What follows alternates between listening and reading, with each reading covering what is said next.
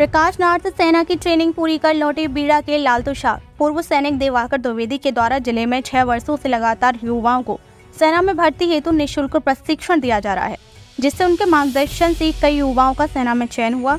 कठिन परिश्रम कर तुषार द्विवेदी ने भी अपने लक्ष्य को पूरा किया और सेना का ज्वाइनिंग लेटर अपने नाम किया। अब तो अग्निवीर की ट्रेनिंग पूरी कर छुट्टियाँ मनाने रीवा जिला अंतर्गत अपने गृह ग्राम बीड़ा पहुँचे। गाँव पहुँचने से पहले उनके स्वागत में उनके भाई और मित्र रीवा, डेखा, तिराहा में एकत्रित होकर उनका फूल माला हाथों में तिरंगा लेकर स्वागत किया, जिससे वहाँ देशभक्ति में वातावरण बन गया एवं माँ भारती की जयघोष के नारों से पूरा स्थान गूंज उठा।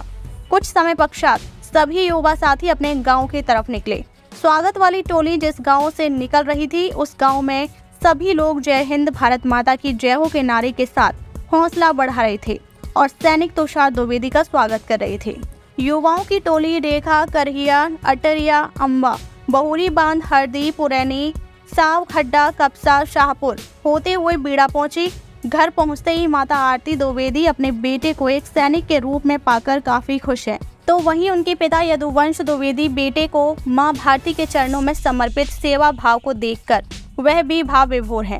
फौजी तुषार के स्वागत में पूरे गाँव में खुशी का माहौल है और हर एक व्यक्ति अपने घर में किसी न किसी को फौजी बनते हुए देखना चाहता है।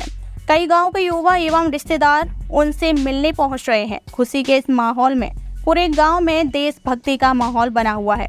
एवं गाँव के सभी लोग उनके घर पहुंचकर तुषार का मुँह मीठा कर बधाई दे रहे हैं।